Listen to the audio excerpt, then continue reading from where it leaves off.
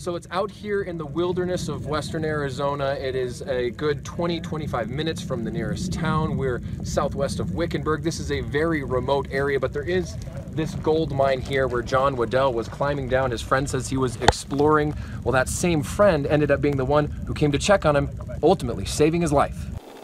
It was a very coordinated effort as rescuers from Maricopa County hitched up their ropes and harnesses Wednesday afternoon. John Waddell, a 62 year old who often goes exploring in the abandoned gold mines here, had been stuck for about 48 hours when his friend came to check on him. Well, he had called me Monday and told me he was coming to the mine and always had a deal. Well, if he's not back by Tuesday, because he said he was going to be back Tuesday, uh, and I didn't come down Tuesday, but I did today. He didn't get back, and here's what we found. I was afraid what I was going to find. Terry Schrader could hear Waddell yelling for help as soon as he showed up. Schrader had to make a short hike just to get enough cell signal to even call 911. It was in my mind all night and all day that what I was going to find, but I didn't. He's not supposed to go in these shafts, a vertical shaft, without somebody here, but he did.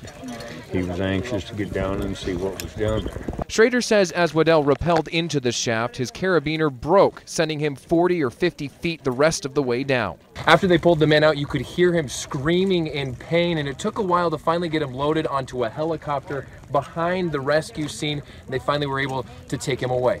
Waddell wasn't completely alone in the shaft. Apparently, he had to kill three rattlesnakes while he waited and hoped without food and water. And he couldn't hardly talk because he that just like his throat was super dry. Now Waddell is in a Phoenix area hospital, and from the way Schrader described him, he likely has several broken bones, but at least he's alive to tell the story. In western Maricopa County, Spencer Blake for Arizona's Family.